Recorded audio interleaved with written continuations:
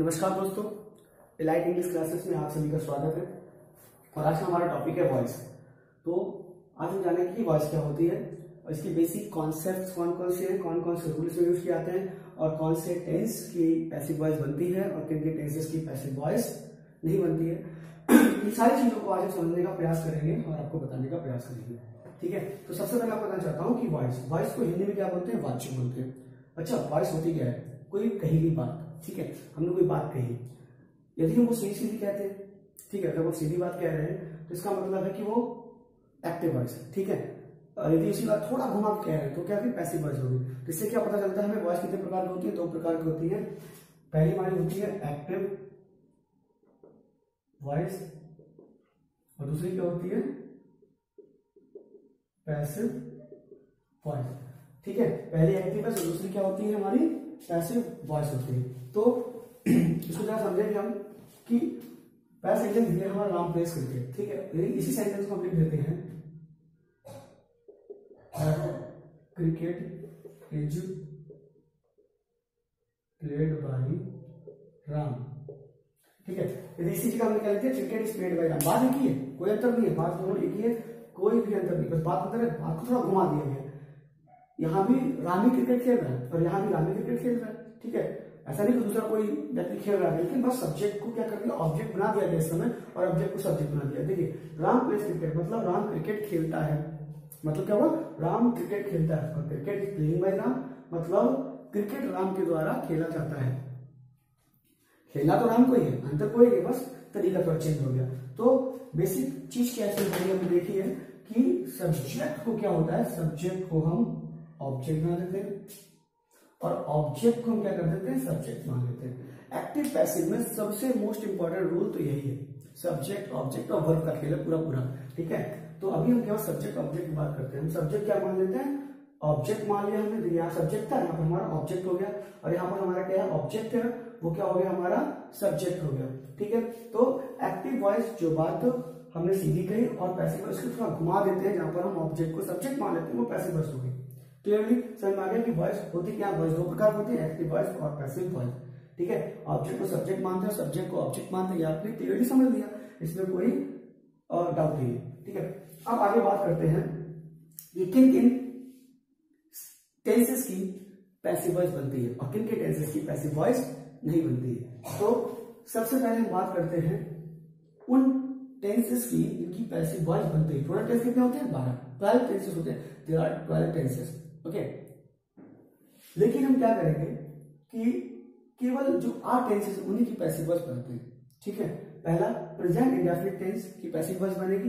Helping verb दिख रही है आपको। प्रेजेंट कॉन्टिन्यूस टेंस की पैसिव वॉइस बनेगी। प्रेजेंट परफेक्ट टेंस की हेल्पिंग वॉइस बनेगी। सॉरी पैसिव वॉइस बनेगी। उसके बाद present definite tense past continuous tense past perfect tense future indefinite tense future perfect tense इन आठों टेंसेस की पैसिव वॉइस बनती है। मतलब क्या हमें जाना है यहाँ पर? प्रेजेंट इंडेफिनिट टेंस की पैसिव वॉइस क्या होगी? बन जाएगी। ठीक है? प्रेजेंट कॉन्टिन्यूस टेंस की पैसिव वॉइस बनती है। प्रेजेंट परफेक्ट टेंस की पैसिव वॉइस बनती है। पास्ट इंडेफिनिट की बनती है। पास्ट कॉन्टिन्यूस की बनती है। पास्ट परफेक्ट फ्यूचर इंडेफिनिट और फ्यूचर परफेक्ट टेंस की पैसिव वॉइस बन जाती है। लेकिन, उसके बाद हमारे पास बचे दो फ्यूचर के एक प्रेजेंट और एक पास्ट का। मतलब प्रेजेंट परफेक्ट कॉन्टिन्यूस टेंस जिसकी helping verb has been have होती है। पास्ट परफेक्ट कॉन्टिन्यूस टेंस जिसकी हेल्पिंग वर्ब हैव बीन होती है। फ्यूचर कॉन्टिन्यूस टेंस की हेल्पिंग वर्ब शैल बी और विल बी होती है। और अंततः लास्ट में हमारे पास क्या बचा? एट लास्ट क्या बचा है हमारे पास? We have future perfect tense जिसकी helping verb shall have been will have been होती है। इन चारों टेंसेस की पैसिव वॉइस नहीं बनती है। ठीक है? और बाकी ऊपर के जो आर टेंसेस की पैसिव वॉइस हम बना देते हैं।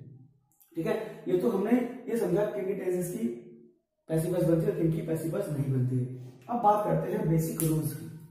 ठीक है? बेसिक रूल्स के बारे में जानते हैं। तो rules for active to passive voice rules क्या होते हैं? रूल्स बहुत इंपॉर्टेंट है जानना।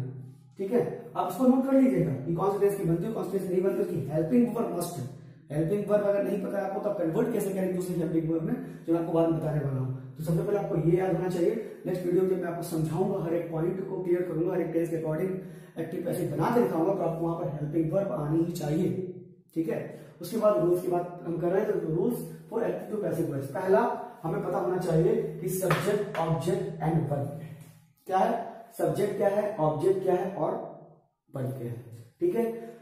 तो यहाँ पर हमने देखा Ram plays cricket. Ram subject है, क्रिकेट ऑब्जेक्ट है, प्लेस वर्ब है।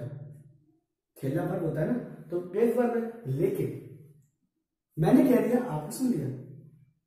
लेकिन आपको क्या पता कि सब्जेक्ट क्या होता है, ऑब्जेक्ट क्या होता है, कैसे फाइंड आउट करते हैं? तो सबसे आसान तरीका मैं बता रहा हूँ समझने का कि एक सेंटेंस लीजिए, उसकी हिंदी कन्वर्ट कर लीजिए, हिंदी में जैसे राम प्लेस क्रिकेट मतलब राम क्रिकेट खेलता है। अब उसमें आप दो शब्दों को ऐड कीजिए। कौन से शब्दों को ऐड करेंगे आप? एक तो करेंगे हम हु मतलब कौन? ठीक है? अगर निकालेंगे तो कौन निकल आएगा आपका? सब्जेक्ट उसके बाद हम करेंगे व्हाट मतलब क्या? ऐड करेंगे, कौन निकलेगा हमारा? कौन निकलेगा? हमारा ऑब्जेक्ट निकल आएगा। तो क्या जैसे बोल रहे हैं यहाँ पर राम प्लेस राम क्रिकेट खेलता है कौन खेल रहा है? राम खेल रहा है तो राम सब्जेक्ट हो गया ना। उसके बाद क्या खेल रहा है? क्या खेल रहा है? क्रिकेट खेल रहा है। तो क्रिकेट क्या हो गया हमारा? ऑब्जेक्ट हो गया। ठीक है? और किस प्रकार का कार्य किया जा रहा है? कौन सी मतलब कि वर्ग मतलब कि वर्ग क्या होते हैं? एक्शन वर्ड्स होते हैं ना।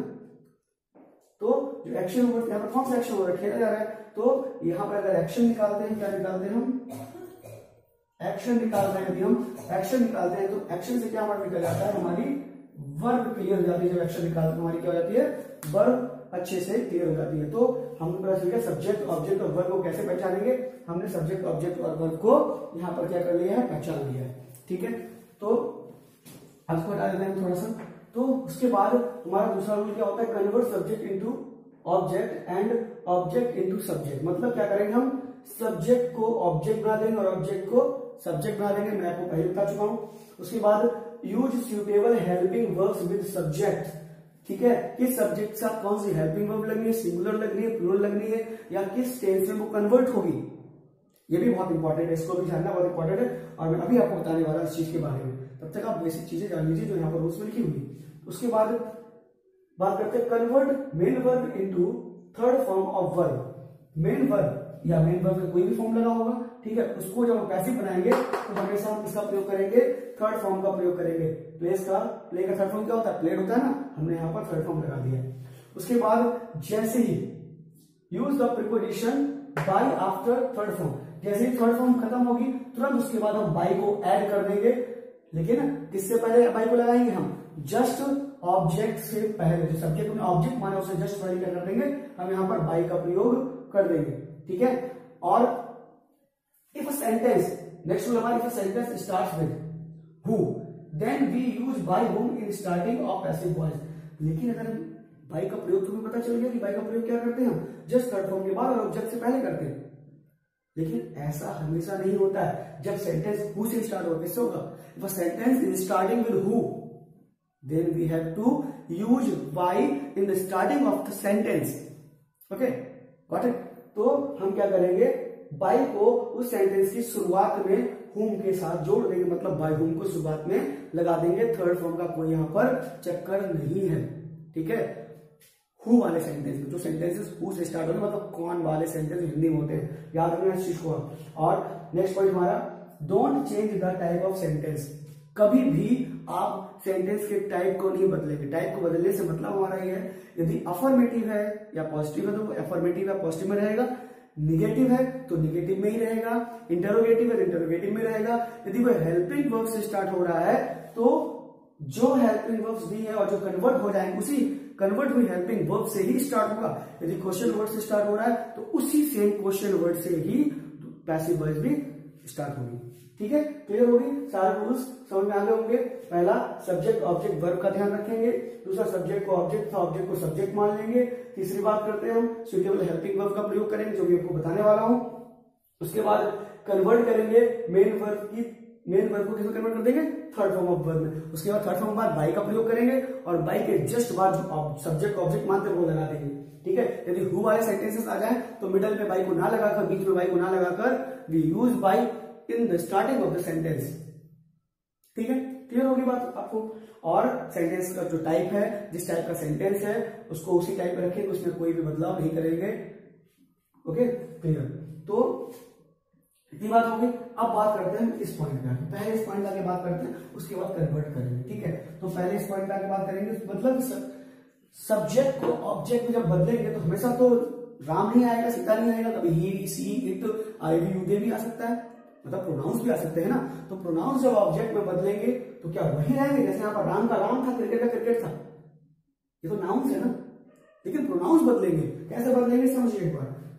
आई जब आएगा, यदि हमारा यहाँ पर आई होगा तो जब ऑब्जेक्ट ले जाएँगे तो आई का क्या हो जाएगा? मी ठीक है? जब वी होगा तो वी का क्या हो जाएगा? अस यू होगा तो यू का क्या हो जाएगा? यू रहेगा। दे का क्या हो जाएगा? देम हो जाएगा। हु का, हु क्या हो जाएगा? बाई सॉरी हु का बाई हुम नहीं करेंगे क्योंकि बाई को अलग से ऐड करते हैं। हु का हुम कर देते हैं क्या कर देते हैं? हु का हुम कर देंगे। ही का हिम कर देंगे। शी का हर कर देंगे।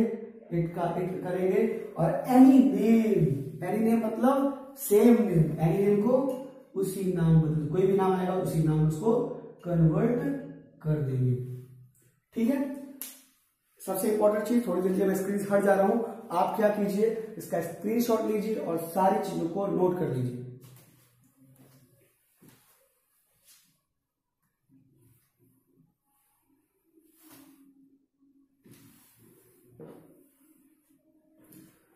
चलिए, आपने स्क्रीनशॉट ले लिया होगा नोट कर लीजिए अच्छे से इन चीज़ों को, क्योंकि नोट्स बनाना बहुत ज़रूरी है। मैं पढ़ा रहा हूँ, आपने सोचा, मैं तो वीडियो देख खोल कभी देख लूँगा, कोई बहुत बड़ी समस्या है। ठीक है? आप नोट्स बनाइएगा जो नोट्स बनाते हैं नोट्स बनाते हैं, बनाते आपको चीज़ें अपने आप आ जाती हैं तो नोट्स बनाना बहुत इंपॉर्टेंट जो भी आप पढ़े नोट्स ज़रूर बनाए। ओके सो अब हम बात करते हैं कि कौन सा टेंस किस स्टेज में चेंज होता है, या कौन सी हेल्पिंग वर्ब किस हेल्पिंग वर्ब चेंज होती है, उसके लिए सबसे पहले हमें इरेज करना पड़ेगा इस बोर्ड को। तो हम एक बार इरेज कर देते हैं बोर्ड को। अच्छे से। और हाँ आपके लिए एक सरप्राइज़ है लास्ट में। उस सरप्राइज़ को भी सरप्राइज़ के लिए भी तैयार है। क्या सरप्राइज़ मैं आपको बताऊँगा। ठीक है? देखिए। तो बात करते हैं प्रेजेंट इंडेफिनिट टेंस जिसकी हेल्प होती है डूडस मेन वर्ब में ऐसा जब उसको पैसिव में बनाएँगे, क्या बनाएँगे उसको? जब इसको पैसिव में कन्वर्ट करेंगे तो हेल्पिंग हमारी हो जाएगी इज़ एम और आर ठीक है? प्रेजेंट कॉन्टिन्यूस टेंस इसकी हेल्पिंग में इज़ एम आर ऑलरेडी होती है तो इसको हम किसे बदलेंगे हम? Is am are plus been convert कर देंगे is am are plus been में। प्रेजेंट परफेक्ट जिसकी हेल्पिंग में हैज़ होती है, इसको हम चेंज करेंगे। Has been have been past indefinite tense जिसकी हेल्पिंग में डिड होती है, इसको किसमें चेंज करेंगे हम? बाज और वर्ब में past continuous tense was verb किस बदलेगा? बताइए बताइए। इज़ एम किसमें कन्वर्ट हुआ था? इज़ एम प्लस बीइंग में। तो बाज वर्ब किसमें कन्वर्ट होगा? कॉन्टिन्यूस है ना दोनों? तो बाज वर्ब किसमें कन्वर्ट होगा?